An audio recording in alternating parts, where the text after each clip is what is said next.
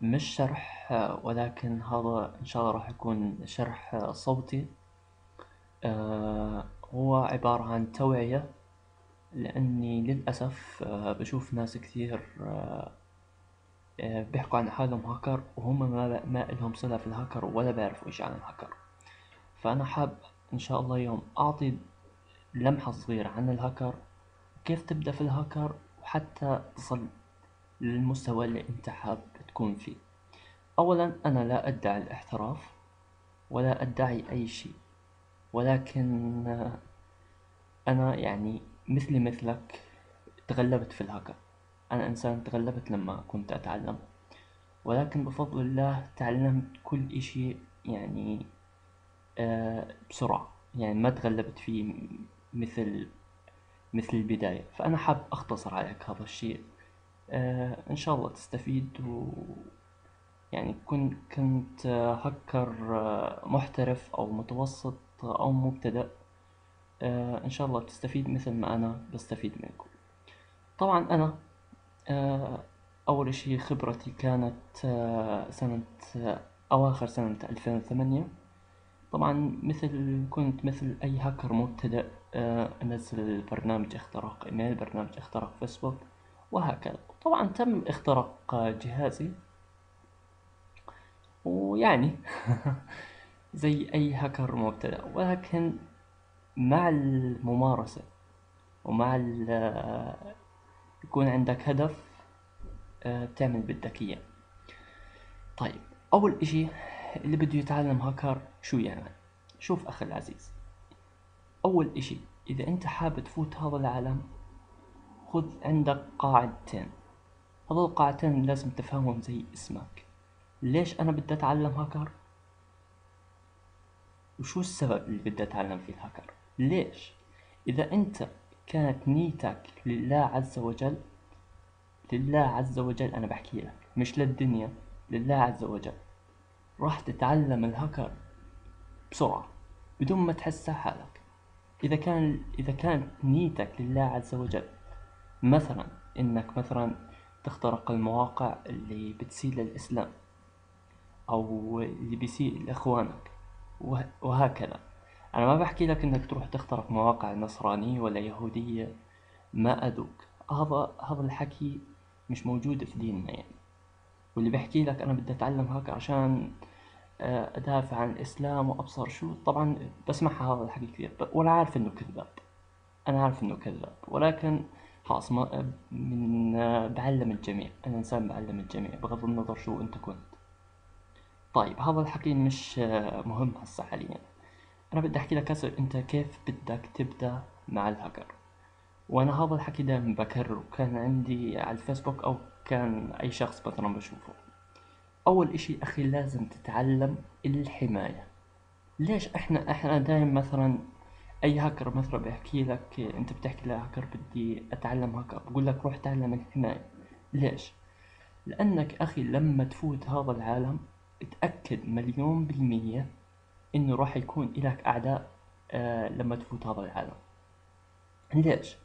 مثلا هسا أنا أفوت على موقع وأنا ما بعرف أنا شو شو هم هذول الناس اللي أنا بتعامل معهم، مثلا واحد يقول لك نزل هذا البرنامج بيخترق ال الفيسبوك أو أبصر إيش، أنت طبعا بتصدق ليش؟ لأنه أنت ما إلك خبرة في في الحماية وفي برامج الهاكر، هو كان ملغم أنت ما بتعرف إشي اسمه تلغيم ولا بتعرف إشي اسمه اختراق فأنت بتفكر إنه ما بيخترق جهازك ما في إشي اسمه تلغيم. بتفكر إنه هو أنت اللي بدك تخترق. ولكن أنت راح يقلب السحر على السحر. يعني زي ما أنت كنت بدك تخترق هم بيخترقوك. فأنت لما يكون عندك خبرة في الحماية راح تعرف طريقة الاختراق. هسا أنا كيف أنا أبدأ؟ أول إشي أنت بتبدأ هو الحماية. طبعا في دورات كثير كبيرة عن الحماية. هسا مثلا أنا خلصت من الحماية شو أعمل بعديها؟ بروح أتعلم اختراق الأجهزة. ليش اختراق الأجهزة؟ لأنه أسهل للمبتدئ يعني بفهمه بسرعة يعني مش معقد آه مثل باقي مثلا ال spam اختراق المواقع ال BackTrack يعني Linux بشكل عام. لأنه ال- المواقع والهذول آه، بتحتاج آه، مثلا يعني بكون شوية معقدة على هذا فصعب إنه يفهمها. طيب مثلا أنا خلصت أنا هسه فهمت أنا اختراق الأجهزة. طبعا اختراق الأجهزة سهل جدا جدا. يعني أنا بتذكر لما كنت أتعلم الهاكر جزء من أول مرة أو ثاني مرة اخترقت جهاز. يعني مش محتاج اللهم إنك بس لازم تفتح port ومن هالحكي. طبعا أنا حاليا ما بخترق أجهزة. يعني كله استهداف أنا بالنسبة لي كله استهداف. ما في عندي أي كان Bifrost أو Spy-Net أو إلى ذلك. يعني أنا ما بخترق أجهزة طيب بعد ما أنا مثلا أتعلم اختراق الأجهزة شو بعديها؟ شو أعمل أنا؟ بعديها بتروح تتعلم اختراق المواقع. اختراق المواقع هو سهل بعض الإشي. يعني ممكن إنك تخترق موقع مثلا عن طريق ثغرة أو عن طريق الحقن ال SQL يعني ومش محتاج هال هالصعوبة. بس انت لما تفوتها يعني مثلا لما تتعلم اختراق الأجهزة راح يكون عليك سهل آه لما تتعلم اختراق مواقع لأن بيكون لك خبرة شوي في اختراق ال... يعني في الهاكر في نبذة الهاكر بشكل عام. طيب بعد ما أتعلم أنا اختراق المواقع بعدين شو أتعلم؟ أتعلم السبام. السبام ليش؟ لأنه الهاكر الاختراق المواقع والسبام بضموا بعض. بضموا يعني أنت مش راح تقدر تعمل سبام إلا لما تكون تعرف تخترق مواقع. لأنه مثلا أنت هسه بدك ترفع السكامة يعني لازم يكون عندك سي بانل أو شل أو ما إلى ذلك. طبعا وهذول الأمرين لازم تكون أنت تعرف تخترق مواقع لأنه لما تخترق موقع إن شاء الله راح تقدر ترفع عليه شل وترفع عليه السكام وتعمل السبام آه طبعا بالنسبة للسبام اللي ما بعرفه يعني طبعا كثير الناس بتحب السبام لأنه الشغلة فيها مصاري. طبعا الشغلة فيها المصاري الناس بتلاقيها ميتة عليها يعني. أنا بالنسبة لي ما بحب السبام لأنه مش عارف يعني بس بتضايق منه شوي يعني. آه، فما بعمل سبام كثير يعني. بالأغلب مثلا إذا بخترق موقع بلاقي فيه بيبال أو ما إلى ذلك آه، بوزعه ما ما بحب إني أحتفظ فيه.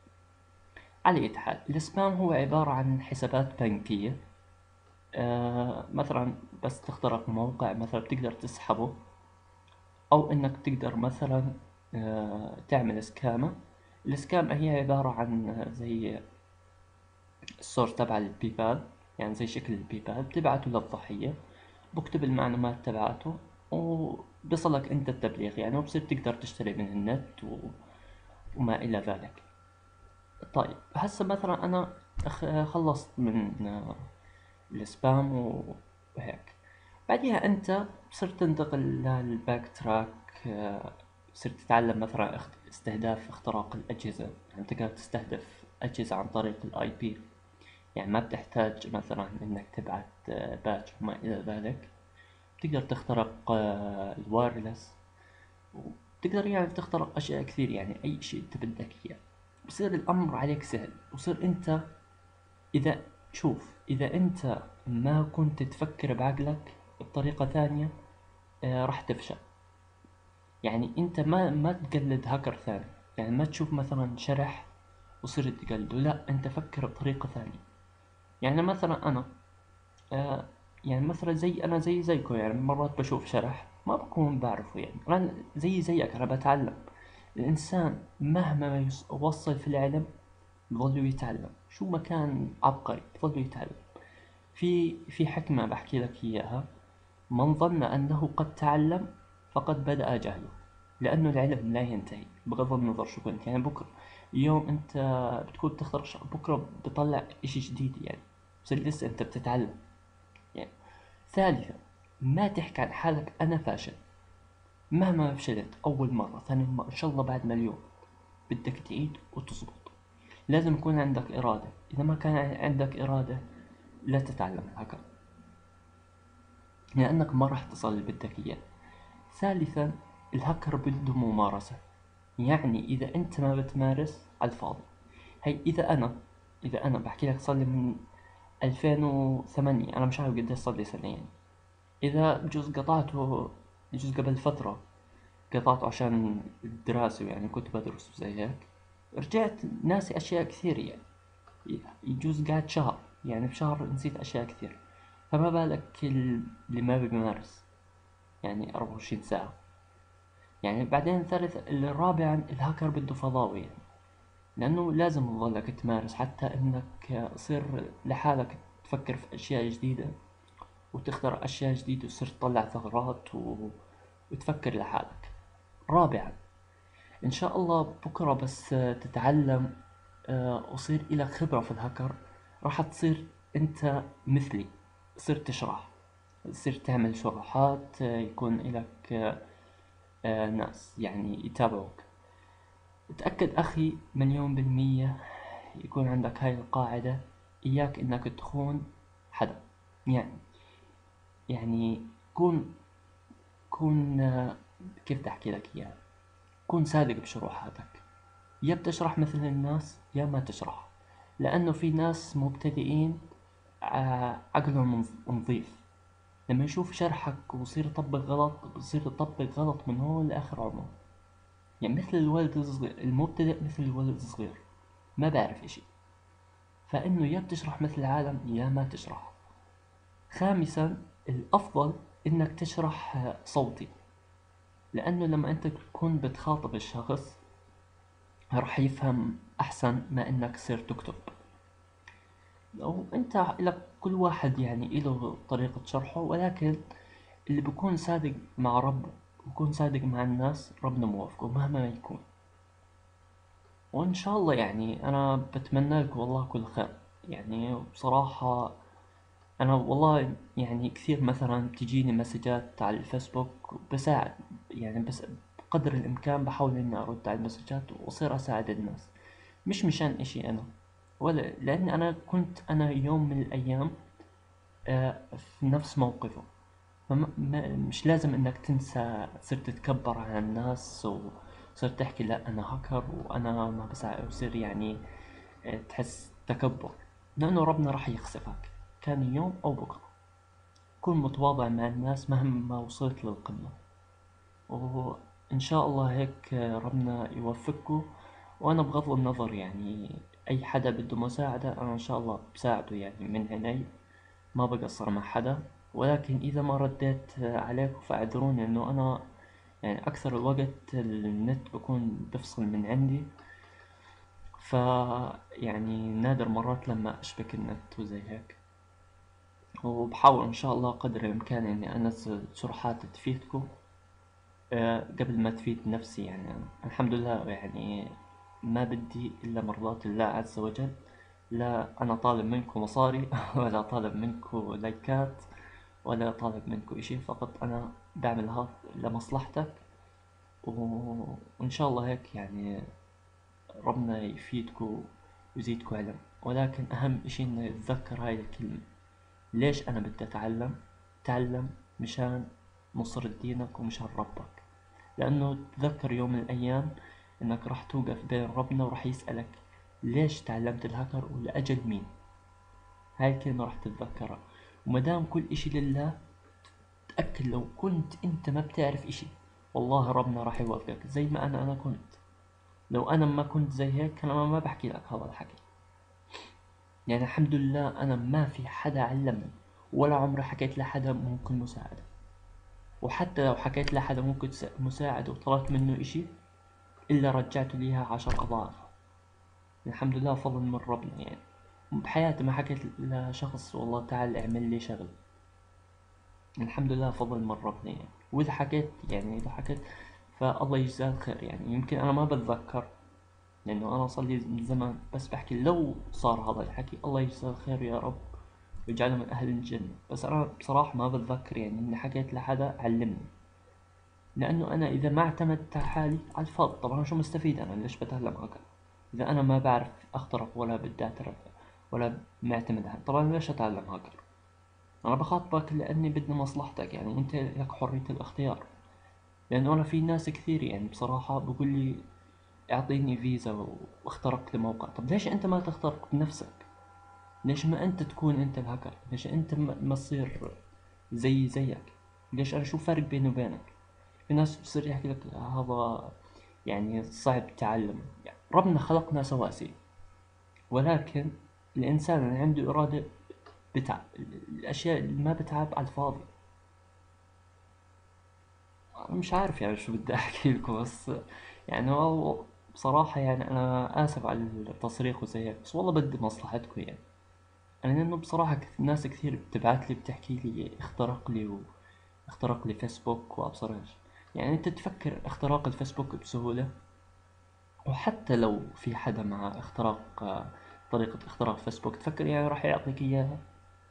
مش راح يعطيك إياها إشي أكيد. بعدين أنا مرات بتيجي لي ثغرات قوية زي هيك. ما بحب أنزلها ليش؟